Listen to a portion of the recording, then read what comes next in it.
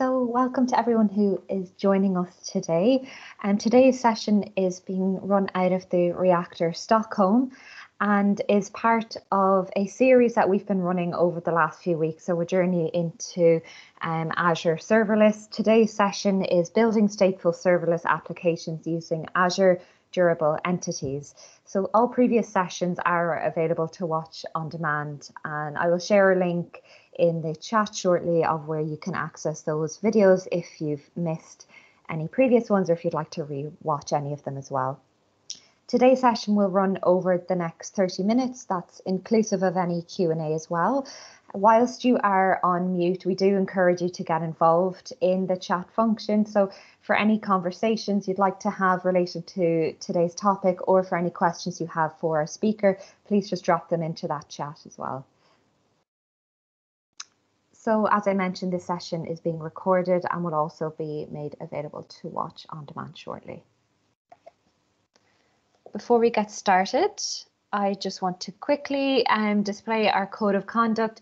So this is just a reminder to everyone who's with us today, and um, just to be aware of others who are on the call and to be understanding of differences and, and differences of opinions that we might see throughout the chat and the Q&A today, and just really to maintain a friendly and respectful environment throughout. Our speaker today and throughout the series has been Eldert. Um, Eldert is an Azure MVP and technology lead at Motion 10, who we'll be hearing from just shortly. As I mentioned earlier, um, this session marks our final session of this series and you'll be able to see the previous sessions that we have already run over the last few weeks that are available to watch on demand. Um, but for today, you can see is building stateful serverless applications using Azure Durable Entities. So without further ado, Eldert, I'll hand over to you to get us started today. Thank you. So yeah, first of all, thank you for having me these last uh, few weeks. Um, I had a really good time. Uh, I really enjoyed giving these sessions. Um, so thank you all for being here. I already see some, uh, some names I recognize in the chat, so thank you for being here. And indeed, today we are going to talk about our last part of the serverless series, uh, building serverless applications uh, using Azure Durable Functions. So just uh, very quickly, um, so uh, once again, I'm Eldert Grootenboer. I come from the Netherlands. I live in Rotterdam, I work in Motion 10. So we focus on everything Microsoft. Myself, I focus mostly on Azure. Um, so mostly architecture and stuff like that. I'm an Azure MVP, so I love working with the community, which of course is also why I'm here today. Most important though, uh, you can always contact me on Twitter. So if any questions, any remarks, just let me know. I will always respond there. And with that, let's first go to some Azure functions. So Azure functions, we have already seen a couple of times uh, during the series. And Azure functions is really about that we have an event. So this might be a time, timer trigger. This might be something was placed on a service bus queue. It might be something changed in my storage something happened and we are going to run some code. Now, this code, we have seen a couple of different examples over the last few weeks. For example, encrypting something with PGP. So we run a bit of code and then we probably have some output where we store something. Either we do a response, of course, to our calling uh, service, or we might store something in Cosmos DB, in Service Bus, on a blob storage, things like that all of this like very easy to set up. We can use bindings where we can just say, okay, I want to bind to a Cosmos DB very easily or stuff like that. I don't have to think about all the plumbing. Basically, I can just focus on my little piece of code. Uh, and this way, just implement something that's very scalable, uh, very durable, but uh, just easy to implement. Now, one thing is functions are stateless. So functions are stateless. Uh, they run for some time. And after they are done, they are just gone. Um, they can run for up to, uh, I think, 10 minutes maximum, something like that. So um, if you want to work with state, you have to think about something else. And this is where actually durable function comes in. As durable functions are stateful functions. So as durable functions are an extension on the consumption plan functions. So uh, when you get uh, functions, you just have this extension on top of this. You don't have to do anything extra for this yourself. You just get this. Um, and with durable functions, basically you can create a workflow of functions. So you can chain different functions together, uh, get the output from one function as input for another function. Um, and basically with this way you can create a workflow where you can say, okay, first execute this function, then this function, uh, give me the result of that function, uh, aggregate those results, and finally get a complete result out of that. And so actually durable functions are built on top of the durable task framework. So the durable task framework has been out for uh, years already. I, I, think I heard myself, I heard about this first time back in uh, 2013 or something like that, 2014, around that, that kind of time frame. So this has been around for quite a while. And basically the functions team said like, we want to do something stateful and they use durable function task framework for this. So if we look at the different type of functions we have, we can basically distinguish four types. We have our client functions, so the stateless functions or the consumption tier functions that we know like uh, the normal functions, so to say. So run for up to 10 minutes, uh, are stateless, and you can just execute some work. Then when we come to durable functions, we have two different types there. We have an orchestrator, and basically, orchestrator tells my, uh, my function, like I start an orchestrator, and the orchestrator is in control of that workflow. So an orchestrator basically says, okay, I'm first going to do step one. Um, it's going to save its state. It's going to execute a different function that actually does uh, the work. And then when it comes back, like my second function at some point comes back, says, okay, I'm done. And what my orchestrator then does is goes, it steps through, okay, uh, I already did step one. What is step two? does step two with a different function. Once again, it's saved, comes back, it gets loaded up again, and it goes through, okay, I already did step one, I already did step two, I now can do step three. So basically it saves a state, okay, what did I already do? And then checks, okay, what is my next uh, point that I have to go to? And all of this is saved in uh, storage, uh, so table storage, uh, where it just saves the states and what it already did and what was the responses and all those things. Now, like I said, it calls out other functions, and these other functions are activity functions. So an activity function is basically the work that has to be done. My orchestrator just says, okay, do this, do that. And my orchestrator start activity functions to do execute, execute that work. So this is my durable functions. Now, of course, the name of my uh, session was about durable entities, and that is the last type of function we have. So durable entities uh, are basically durable functions, uh, or actually not durable functions, you can use them together with durable functions, but durable entities are basically saying you can have your state and you can even have your complete state around uh, uh, all of the things of your entity. Like, for example, what we are going to look at later is a hotel room. And hotel room, you can have some state about is this room booked or not. Like actually the state of your entity, the complete state, you can just capture in a durable entity. More on that later though. First, we are going to look at some different types of durable functions, because I think you really need to understand durable functions before you can continue durable entities. Let's have a look at some different patterns that you can implement with durable functions. So the first pattern is function chaining. And in the function chaining pattern, basically you execute a sequence of functions in a specific order. So in this case, I first execute function one, uh, it's then stored like everything is stored in the table storage. Every time I execute a function, its state gets uh, stored uh, in a table storage. Um, and so the, uh, in this case, the output of one function is applied as the input for the next function. And this keeps going, like in this case, I just have four functions and the function output of each function is the input for the next function. Until finally at, at function four, I have the output of the last three functions and I basically return something and I might store this, for example, in Cosmos DB or do something with that. The second pattern is about uh, fan in, fan out. Uh, fan in, fan out uh, pattern basically means that you can uh, uh, trigger some different uh, parallel functions, wait for them all to finish, and then aggregate the result of those different functions. So I just say, okay, here, start some parallel functions, give me the output of all of them, and then I can aggregate the result and do something with that. And this is finally returned, of course, and uh, we can do something with this. The third pattern is about async HTTP APIs. And so this is something that you cannot really do with normal functions, where you can say, okay, um, I have to do some work, and at some point it will finish, but I don't know when. So with the HTTP async pattern, you can address that, uh, that problem. So what you normally will do is say, okay, I do some work, and then this work uh, will just every once in a while will say, okay, I'm now in this state, I'm now in this state. And then you will have like a status function that says, okay, give me now the state. So my client can every, once in a while can just come back to this get status and say, okay, give me the state.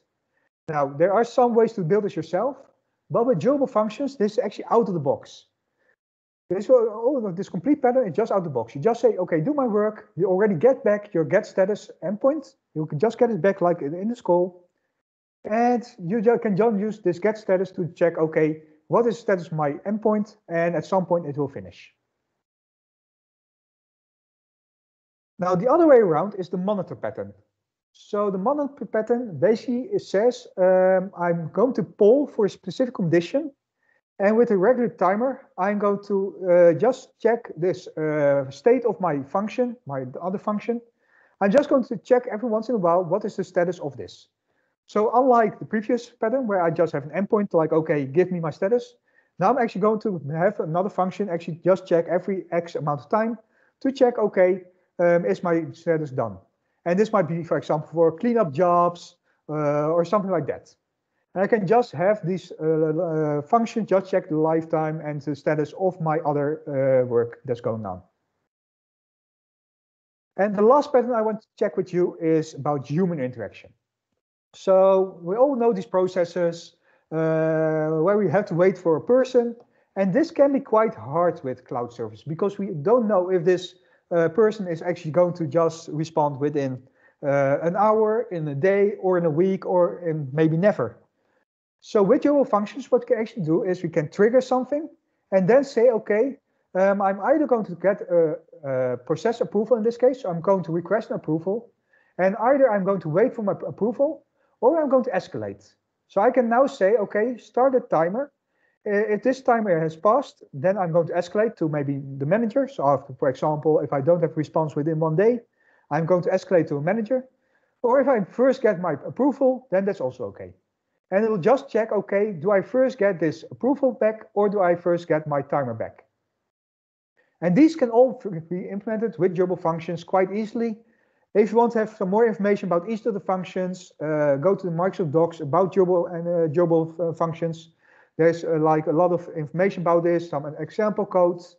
Um, so I'm not going to show you this today. Um, so, but if you want to know more about this, you can just go to the docs and it will all be explained there. What I'm going to show you today, though, is just a quick demo of how does a durable function look like uh, and uh, how can we set this up. So what I'm going to do, this is from one of our clients who are actually using durable functions for this. Um, if you was were in my, one of my previous sessions, I actually showed this. It was the uh, where they uh, the RAI is one of the biggest like conference centers in the Netherlands. And one of the things that we implemented for them was like, okay, I want to get a ticket, and they are building this on top of durable functions. Um, so I just took a small piece of this, like um, I did not have the whole approval and stuff like that, but I'm just going to show, show a demo with a small uh, uh, thing that I'm going to show you here. So uh, what I'm going to show you is uh, what does a durable function uh, look like and what are the different parts of it. So first of all, um, oh, sorry, I clicked on the wrong window. There we go. So first of all, a durable function is always started by a normal function, by one of those client functions. A durable function itself doesn't have a trigger except for this durable orchestration client. And this always has to be started from another function. So in this case, what I'm just going to do, I have this HTTP endpoint. And whenever this HTTP endpoint is triggered, I'm going to start my uh, starter over here, which is my durable function starter. Um, and I'm going to start this specific durable function. Um, I'm going to do some logging and I'm going to return my uh, instance of my durable function. And this allows me to get back some information. Okay, what is my status and stuff like that. Um, so this is going to start this uh, ticket durable functions. Let's do next go to that one. And what you see, my durable function in this case just tells me, okay, I'm going to uh, create a list. I'm going to call three uh, activity functions uh, I'm going to get the output of those three, and then I'm going to return the output. In this case, I'm going to call the three registered ticket functions. Of course, I could also call the three different activities, like I could, for example, first say, uh, register ticket. Then second one might be something like, okay, um, reserve a seat for this. And the third one might be, okay, process my payment, for example. Now, because this is a demo, I'm just going to show you this output, but you can imagine like you could use the output of one as the input for the next one. In this case, I'm just going to call out this activity of register ticket. And what this is going to do, it's just going to uh, return to me like, thank you for your registration uh, with the name. And the name, of course, comes from this name over here. So let's go and run this function and just have a quick look what this looks like. So uh, like I said, just going to spin up some things for me. Once it's done, I will have, um, there we go. As you can see, I have this endpoint over here, and I have two other functions that are also running. So my register ticket uh, function and my ticket durable function. But this is the one we are going to call this HP start client. Let me just move this down again. And if I over here, so I'm going to call out to this HP start client that over, over here, running on my local host in this case. I'm going to call out to this. And as you can see, I just get back a 202 accepted with some information about, okay, how what can you do now? So I've got a status query, get URI, I can send some post, I can terminate. In this case, I'm just going to check my status uh, over here. Just to quickly show, by the way, like there's some logging over here, like there's some uh, tickets were registered. I started uh, orchestration uh, uh, with ID. But I just want to know, okay, what what is actually returned of my uh, my function. Now, like I said, this is that um, async HTTP endpoint that I get out of the box. So if I place this over here, um, yep, I can now check and I will see so my uh, function, uh, my name, which instance this was. I can see it has been completed. I did not have any inputs. And there's my array of outputs. And now I can actually just get these outputs, of course, and I can start working with this. In this case, my outputs are just those three. Thank you for your registration with the name. Now, um, so this is how I get it output. Um, but if I want to have so like so if I want to start investigating my functions, I might want to have some information about okay, what was actually triggered, what uh, how did everything work. And for those that have worked with durable functions before, it can be a bit tricky to actually get okay, what happened with my durable functions? Uh, are there any errors? Um, which activities were actually started, especially once you start introducing logic like if this, then that. Um, then it can get quite uh, interesting when you have to start querying this with something like uh, application insights. You can get all the information, but the queries are a bit uh, complicated, I would say. So what I would always say, if you are working with durable functions or durable entities, please get your durable functions monitor extension for Visual Studio Code. This is one of the nicest extensions out there if you are working with uh, durable functions. So let me just uh, do this. Um, so as you can see, um, let me just show you like this. So uh, in here, I now I'm saying, okay, so my name uh, should contain uh, tickets, uh, and I get all the uh, different orchestra, all the different instances with that. So um, I've got completed orchestrations running, pending, terminates, but basically everything that has something to do with tickets in its name. So I can now grab this. I can grab the latest one. So that should be this one. Um, and as you can see, I can already see, okay, which output did I get? I can see the input, stuff like that. And I can actually click on this. And I can now already see, okay, so what happened here? So I can see, okay, so apparently uh, my execution of my tickets durable function was started. Uh, it did three times a registered ticket. Uh, these were the outputs for each. Um, let me just zoom in a bit on this. So I can see, okay, what was the output for each of these registered tickets? Uh, at some point, I could say, okay, my execution was completed. Uh, I got the complete output from there. And for those that, like I said, for those that have worked with durable functions, like this is so much better than having to query this all together in application insights. This is just such a nice overview. I can immediately see like it was completed. Um, if this was like failed, I could see which failures there were. Uh, I can restart this now. I can terminate this, like if it's in state like, okay, uh, it's, it's just broken, please I can terminate it for now. Um, so just it just works very easily. I can get things like sequence diagrams, like I can see, okay, so execution started, I did three uh, things of register tickets. This just makes it so much easier to work with this. So if you start working with durable function or durable entities, please install this Durable Functions Monitor extension for your Visual Code. So with that, we have now seen how the durable entities work, uh, durable functions work, um, how we can monitor them, how can we look into them. So next, let's have a look at durable entities. And so durable entities uh, uh, work very nicely together with durable functions. But durable entities basically are uh, another extension on top of functions. Um, and they basically implement the actor model. So let's first have a look at the actor model. So the actor model is uh, uh, a mathematical model of concurrent computation. Um, it treats an actor as a primitive of concurrent computing. Basically, it says so each uh, actor is its own state, is its own uh, entity within a set of entities. And so on the actor, I can do things like making logic decisions. I can create more actors. I can send messages to them. And each actor has their own private state. And that's the most important part. Each actor has its own private state. So an actor is always addressable by its ID. So each actor uh, will have its own ID.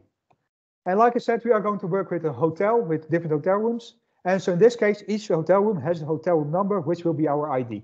So I can get the hotel room by, for example, calling, okay, give me the status of room 104. And I can just can get information about this. It's a state machine. So each of my uh, actors is in a specific state. So for example, my hotel room might be in a booked state or an unbooked state. I communicate through async messages. So I have some, for example, message like book room or give me the room status. It's very lightweight, like every actor is a lightweight thing, like I can just represent it in a very lightweight manner. Um, it's uh, once again, we are working with uh, durable entities, which is all stored in table storage. So if you can actually go to your table storage and just check, okay, what is the uh, status of my actor, um, or in our case, durable entity. And it's just like we represent it in JSON, and I can just see all the different properties of this. It doesn't share a global state, so each actor only has its own private state. Uh, so one actor does not know about another actor. Uh, when we send a message, like I said, we communicate through async messages and each message is processed one at a time in order. So if I send 1000 messages, it will process them each one at a time. And so for example, for my hotel room, this means when I send three requests to book this, it will first handle that first booking process. One, only once that is done, it will get the second one. And then it will actually check, okay, can I still book this? And this is very important because I don't want to have two uh, people booking the same room at the same time. I first want to process that first booking and only then that second booking, because then I can say, oh, I'm sorry, this room is already gone. Or maybe otherwise, like if I first unbook it, then I can say, okay, you're booking, this room is now ready again. This is very important. And so we are now talking about hotel rooms, but you can also think about other things like financial data or things like that. And finally, it's always a single threaded object. And this of course important because you have that process one message at a time. So this is why it's a single thread object. So it only has one thread and does everything on the thread. And this way we can always make sure that you always have the latest state. So let's have a look at durable entities. Uh, like I said, durable entities are very much like actors. I'm not going it's not completely the actor model, but it's very much like the actor model. So it manages its state of your uh, entity. So you just have an entity, in our case, my hotel room, and it completely manages that state for us. So we don't have to know how to implement this actor model ourselves. This has completely been abstracted for us. We can just use this. It executes serially, so if I have uh, 10,000 operations, it will execute them serially, like that actor model. It's unloaded when it's not executed. So when I'm not working with my specific entity, it will actually unload it. It will play placed into my table storage. And only when I call that entity again, uh, it will actually get it out of my table storage. It will load it into memory, and I can work with it again. And as I said, it implements the actor model. So the pattern that you can use with this uh, model is uh, aggregator pattern. And this pattern basically allows me to uh, do a lot of messages to my uh, entity. And this entity then, because it will use the serialization, uh, serialized uh, processing, it will just process each message, do the next message, do the next message. And over time, it just aggregates all those messages. So kind of like uh, an event sourcing pattern like, but just process all the messages and in the end I have complete state of my entity. With that, let's go to the next demo. And uh, so when I was looking for a scenario for this presentation, for this specific demo, uh, basically I found this uh, uh demo over here uh, from Kees Schollaart. So this is the hotel demo that I just talked about. And um, this basically perfectly describes the case for uh, durable entities. So I'm like, I'm not going to reinvent the wheel. I will just use this demo. Um, so you can, I will share the link. So once again, I will share all my slides so you can get this link later on uh, to have a look for yourself. But I don't want to reinvent the wheel. Like I could think of something else, but this just perfectly described my scenario that I want to do. So let's have a look at this demo. So once again, I'm just going to describe to you, okay, what uh, do we have? So let me just zoom in a bit. Um, so once again, um, I'm going to use my durable entities. I'm going to use in conjunction with durable functions, so that we saw previously. And so once again, we are going to start with a normal function to start this. In this case, uh, what I'm going to do is book uh, a room from, I'm going to uh, rebook a room. So I first had book uh, room X and I'm going to book to room Y. So I got a from room number, so my old room number. And I'm going to change this to my to room number, which is my new room number. Um, as you can see, I'm going to log some stuff, but this is once again the important part. I'm going to start a durable orchestration um, of this type, and I'm going to get back my status.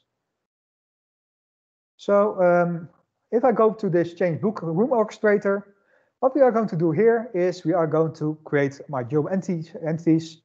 So first I'm going to check, okay, um, I'm going to get my orchestrator input and this orchestrator input, uh, just to show you quickly, um, looks like this. I just have a from number and a to number and that's it. Like it just makes me sure that I can actually pass some things between my different functions. Um, so I'm going, going to get that input. Um, this is the part where I showed, told you about previously, like um, because a durable function actually, Uh, the orchestrator is going to do an operation, be saved to the table storage, does it, the activity doesn't work, it comes back, it triggers my orchestrator, and the orchestrator will check, okay, what has already been played. So logging will always be played again.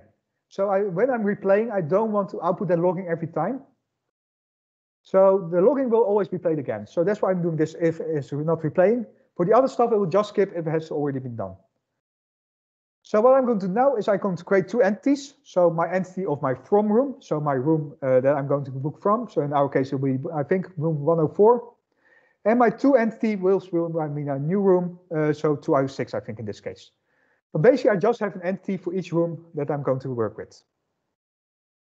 I'm then going to log this, and this is important. Like, for example, in my case, when I'm booking, uh, I'm booking my first room, I don't want my second room to actually be booked by someone else. So I'm going to uh, lock these two entities so that no one else can work on these.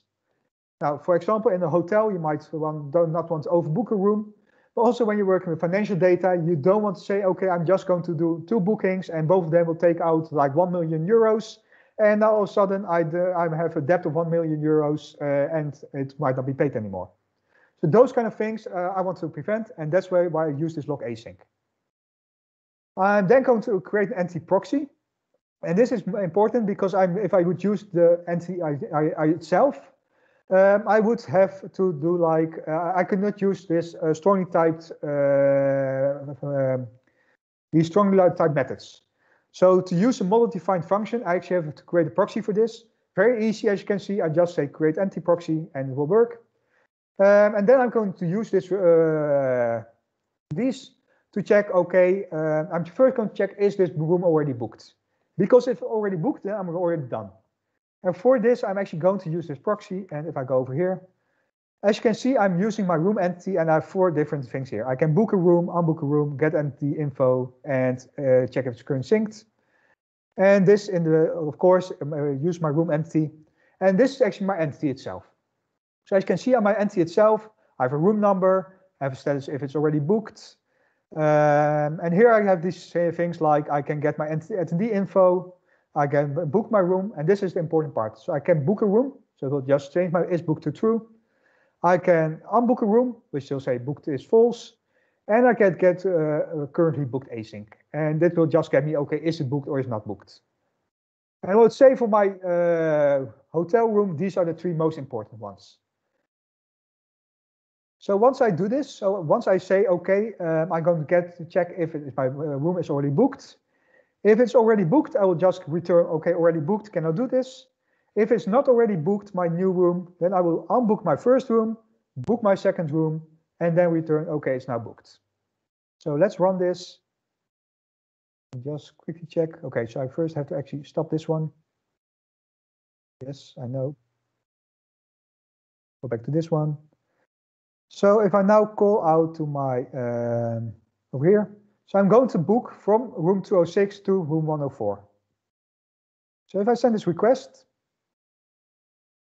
oh, um, let me, oh, it's not running. Let me retry. So probably I was not fast enough to kill the other one. So while this is starting up, there we go. So it's now running. So now I can say I want to uh, go from room 206 to room 104. So if I do this, I can now get step my, my check my status. Oh. Grab my status over here.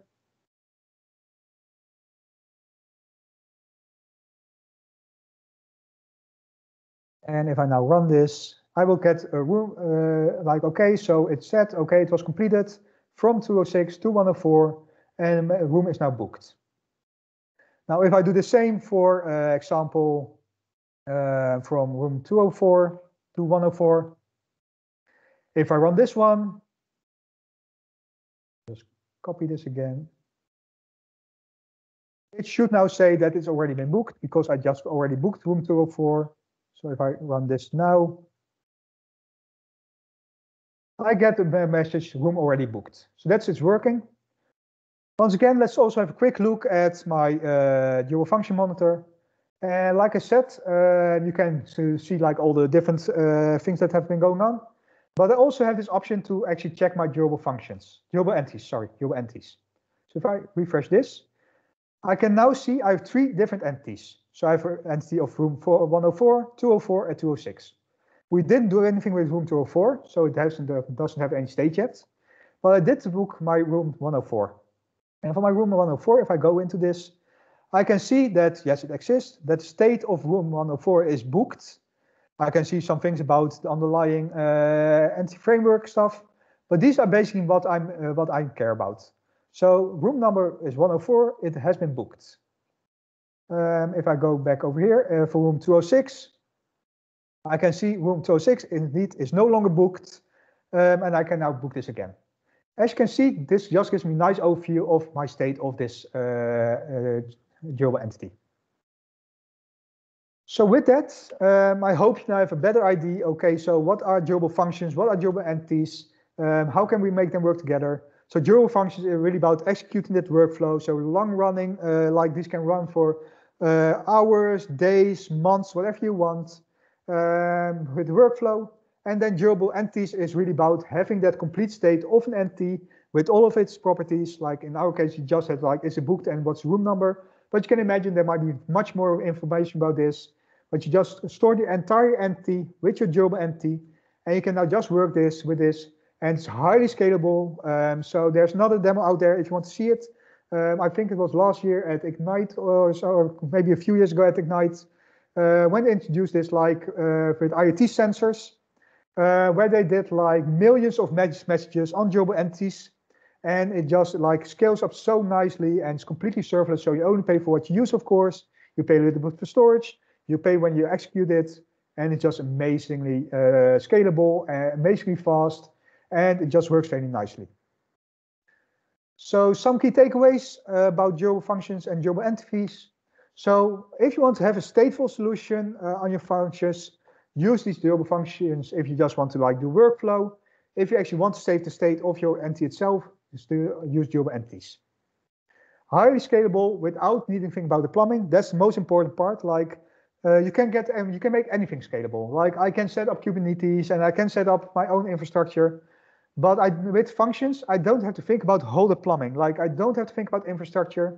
I can just say, here's my entity, uh, and it works. The code that I just saw is all the code I need, and I don't have to think about uh, storage. I don't have to think about or like how I'm going to run my infrastructure. I can just deploy this Azure and it will just work and it will work for millions of messages um, without having to think about anything. And finally, as always, these are better together. As I just showed you, you could of course just use the durable entity on itself, but often uh, it makes much more sense to use durable functions with durable entities and maybe also bring in some other things from Azure, of course, because Azure has such a wide variety of services. So really have to look at your scenario and pick and choose the right pieces. I always think of Azure as Lego, um, and as you can see behind me, I really love Lego. So, but I think of Azure as Lego. Uh, choose the bricks that you want and build your own IDs uh, around this. So with that, once again, thank you for being here. If you want to know more, there's a lot of information on Microsoft Learn. Definitely have a look at Microsoft Learn if you want to learn about durable entities and durable functions or just functions in general or anything else serverless because there's a lot of information here. Join the Reactor community. Um, I love the Reactor. Uh, for those that have been in my previous sessions, you know this. Like I really like Reactor. They do a lot of good stuff. Uh, they have very nice uh, meetings and meetups. Uh, once again, go back again. I would definitely recommend go to a Reactor in your location uh, because they have some very nice buildings, very nice uh, sessions there. for now, I would like to say thank you. If you have any questions, uh, please contact me on my Twitter. If you have uh, want to know more, uh, you can talk to me on email as well. I'm always open to uh, connect on LinkedIn. So with that, I would say thank you. I will have a look at the chat if there's any questions there. Uh, like I said, if there's questions later on, I will also uh, I'm available here. Let me just have a quick look.